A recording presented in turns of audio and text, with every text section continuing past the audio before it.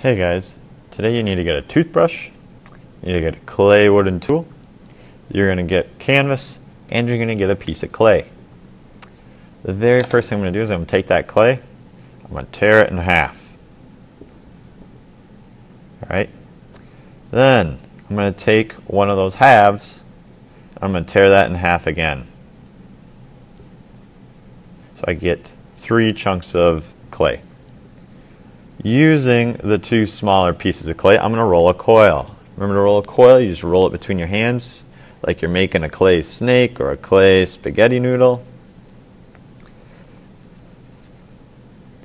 I'm going to leave one that's just a little bit thicker, like this.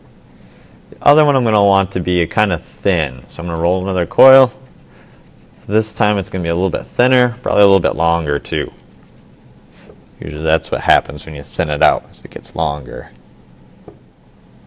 Alright, so you can see the difference. This one's kind of thick, short. This one's thinner and longer. I'm going to take this um, thinner one and I'm going to take that toothbrush, get a little bit of water on it.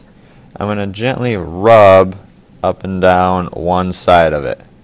Alright, this is called slipping and scoring. It's going to help my clay stick to itself. And after I've done that, now I'm going to roll it into a spiral. So I scrubbed it with the toothbrush. I'm just going to roll this up.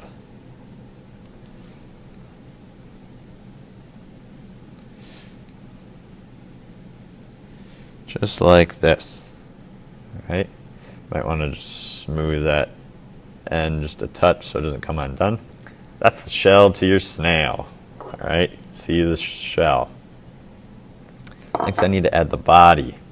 So I'm going to take this clay, remember it's kind of the shorter, thicker one, I'm going to gently press down on it just a bit.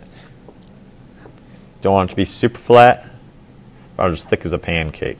This is going to be the body to your snail. Alright, so you can see it's going to get put on there like this, and he's going to get bent up just a touch. Alright. So put the shell um, just a little bit further than halfway. All right, so just a little bit further back. Need to slip and score those, otherwise it's going to fall off. So I'm rubbing my damp toothbrush on there, not too much water. Doing the same with the bottom of my shell. Those can get stuck together. I'm not quite done yet though. I need to take that wooden tool and I need to smooth it now. So remember I'm to take that I'm going to stick my wooden tool into the side of the clay. I'm just going to pinch it together. So I'm kind of dragging some of the clay from the shell down to the body of the snail. I need to, need to do this all the way around. This helps smooth it on there. And then I can take my finger and help smooth that or the edge of my wooden tool.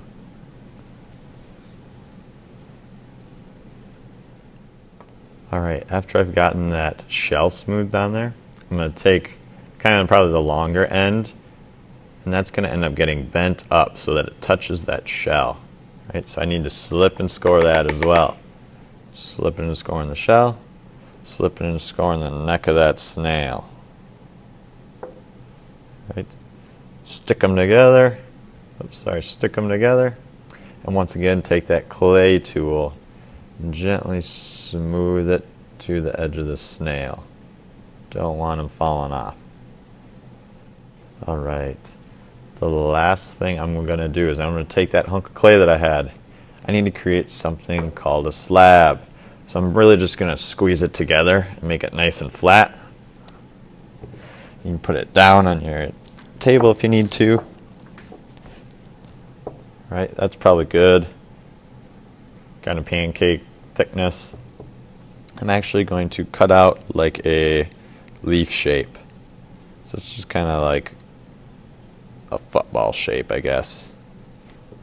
I can use my wooden tool to do that.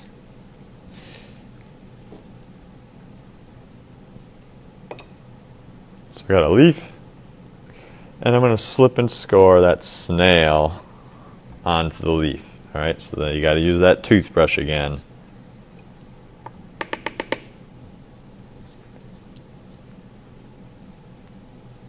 Slipping and scoring the leaf and the snail. Stick them on there. And last but not least, smooth. So I started by tearing my clay in half.